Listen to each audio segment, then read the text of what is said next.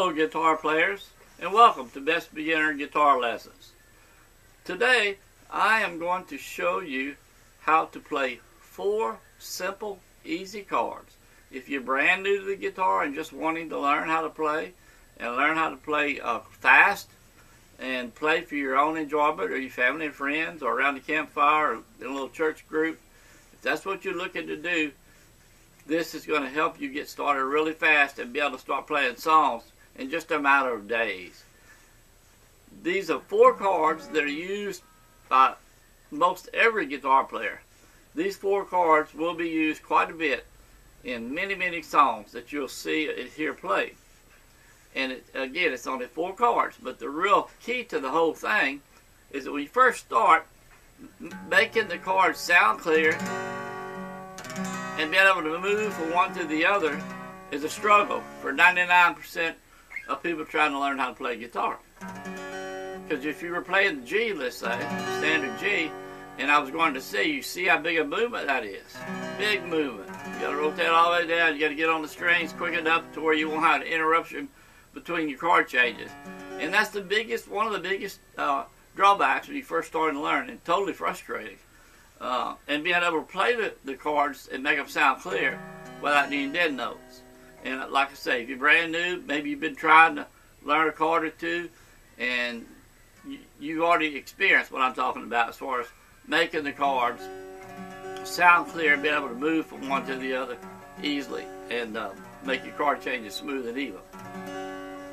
We're going to show you these four chords made an easy way where you only be moving two fingers. Just two fingers. Okay? So what you want to do is lock the ring finger down here on the second string, second smallest string at the bottom, and then the little finger right next to it on the first string. Right on the third fret, right next to the third fret, not on it, I'm sorry. Right next to it. So you got one, two, three, okay? And then you're going to take your first finger and put it up here on the fifth string, second fret. Now these two bottom strings, fingers stay there. They do not move. They stay locked in right there in that position. First finger on the fifth string, second fret. And then your second finger on the sixth string, third fret. That is a G. Okay? That's a G chord. And here's the real beauty to making these uh, four chords using only two fingers. So if you have G, and you wanted to go to C, all you have to do is drop the first finger down one string and the second second finger down one string. Now you're on the fourth and fifth string, second and third fret. These two bottom fingers still locked in on the bottom, which they'll stay there. That's C. So instead of having to do this, like that, all you have to do is G. Drop your first and second finger down, one string apiece to the fourth and fifth string, and there's C. A lot of difference there. A lot of difference from having to go from here to here or here to here. Super, super big difference. And by keeping these two fingers locked in, it keeps you where you need to be in position on the fretboard, where you won't get out, out of whack as far as the position on the fretboard. So these two stay locked in. So here we go. at G, you got C. The third chord, okay, is E minor, one of the easier chords you ever make. Now you can do this two ways, and again, these two locked in. First finger can be on the fifth string, second fret, and your second finger on the fourth string, second fret. That's E minor. With these two still at the bottom, okay? Okay. If you can and you want to, you can use one finger to hold both those strings down. I, I sometimes use my first my first finger to hold the fourth and fifth strings down on the E minor. If you can do that and hold them down well, where they sound clear, that's okay. Uh, so you can use one finger to hold both of them down, as long as you're holding them together down. But again, using two fingers on the fourth and fifth string second fret, that's that's fine, no problem. There's no set rule on that. Okay.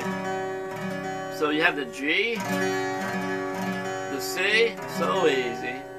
The E minor, and the last chord, fourth chord, would be the D. Again, these two are still there, locked in. Take your first finger, put it on the third string, second fret, with the two still locked in on the bottom, strum the bottom four strings. Okay.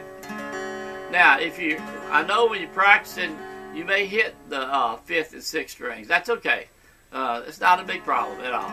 As you get more familiar with strumming and, and being able to control the pick, uh, you'll be able to hit just the strings you want to hit. But right now, it's okay to strum all over.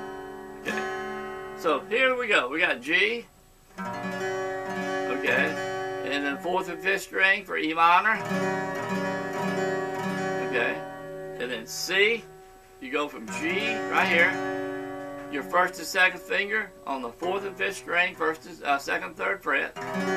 These two bottom locked in, and then the D, move your first finger to the third string, second fret, and that's it. Let me go over these. If you got your guitar pick, close to you, pick it up. If you got already hold it, that's great. Let's do a G, two, three, four, C. Drop your first and second finger down one string. These two still locked in. C. So much easier this way. G. And D. That's all there is to it, people. That's it. G. C. E minor. And D. Let's do it one more time. G. C. First and second finger down the string. G. First finger on the third string, second fret, G. That's it. Take 10 minutes per day. 10 minutes per day. That's all you need to practice. Don't over practice, by all means. So many people starting out tend to over practice, um, play for hours at a time, and that's way too long. What you want to do in the beginning is develop muscle memory. So by playing 10 minutes a day, and focusing in just on these four chords. Again, if you've been looking on, on the internet, you know that there's so much out there, so much information overload. It gets you totally confused.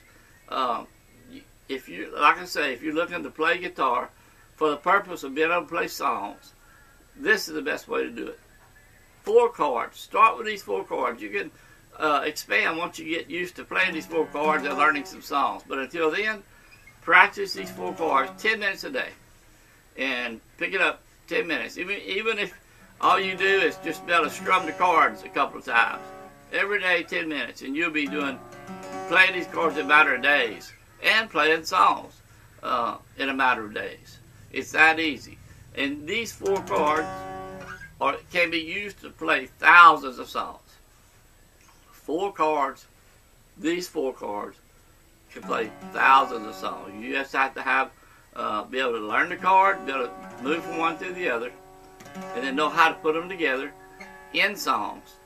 And like I say, you'd be playing the guitar and songs in no time at all. If I'd have had this when I first started many, many years ago, someone showed me this in the beginning, I, I would have been playing songs in, in the first week for sure.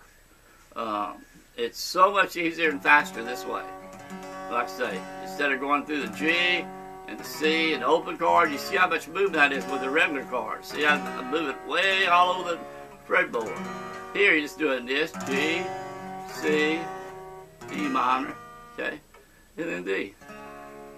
Just like that. Just like that. Okay. And again, you can play, like I say, thousand songs.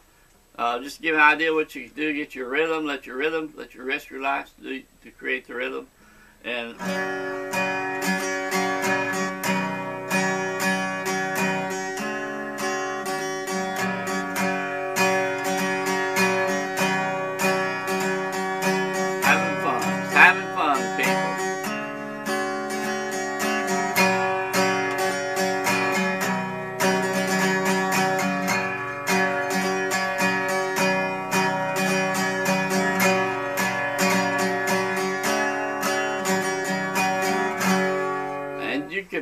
chords in any order. There's no way, no specific way to play them. G, E minor, C, D. Start with C and do E minor, D, and G. However you want to play, mix them up. Uh, by mixing them up, you'll even learn them quicker instead of playing them in the same order each time. Uh, but again, learn these four chords, and you'll be playing the guitar just about every days. Uh, it, it's not hard to learn how to play guitar if you have the right instructor with the right plan, the right lesson plan. And again, uh, I can if you'll do what I've just shown you here, and just practice these four chords, and then start putting them in, in songs using just the four chords, you will be able to play thousands of songs and be playing in just days, not weeks, not months. Uh, and it, leave your comments down below. Let me know how you're doing. Let me know if this has helped you. Uh, if you've been struggling uh, trying to make chords and make them sound right, switch it from one to the other, leave your comments. If this little lesson here with the magic four chords, I, I like to call these my magic four chords, if it's helped you. Uh, any questions you have, leave your leave them down below in the comment section. Uh, anything you're having trouble with, uh, I'll be glad to try to help you with. I'll respond to all comments uh, personally myself. So leave your comments below. Uh, also, in the description, I've got uh, a link to my website, Best Beginner Guitar Lessons. If you click that link, it's going to bring you to my home page where all you need to do is enter your email address, click the little blue button, and you'll be brought instantly to 38 of my best beginner guitar lessons. Now, these are the best beginner guitar lessons that I've taught for over 40 years to thousands and thousands of guitar players who've used these lessons to learn how to play. It's a step-by-step -step method. Now, it, it's a more uh, comprehensive course, and it's going to take a little while to get through it. So you, you have that at your disposal. There's no charge for it, 100% free. No credit card required, no trial, uh, no payment any kind. I'm offering to you absolutely free. Just click the link down in the description, bestbeginnerguitarlessons.com. Uh, but again, to learn to get started quick, easy, and play songs and hundreds and thousands of songs, G, C. So easy, people. It's G, C, E minor, and D. That's all you need to learn. If you've got a bunch of courses you bought and still having all kind of trouble just getting started, put those to the side. Focus in on these four chords. Um, I'm going to give you a couple of tips. Your fingernails on the chording hand need to be trimmed to at least to the tip of your finger, if not just past the tip, to where when you press, you use the very tip of your finger to press the strings down. And if your fingernails are long, it's not going to allow you to be able to press the string straight to the fretboard to be able to get the clear tone. So these have your fingernails need to be trimmed. Uh, you can leave them, you know, the way you, you want them on the right hand. Uh, if you want to do finger picking down the road, it'd be good to have a little fingernail uh, on your right hand, on your strumming hand. But on the on the chording hand, fingernails need to be cut. Okay, and you want to play right on the tip of your fingers. And the third thing is when you're playing, try to let your elbow stay closer to your body for the G in the E minor and the C and the D. And this will allow you to have your fingers come up and over and be more vertical up and down, which is the way you want them, to apply the pressure straight down.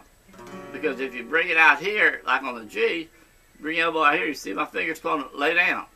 They're starting to want to drop down, and they're touching strings next to them. Okay, not just touching the one string,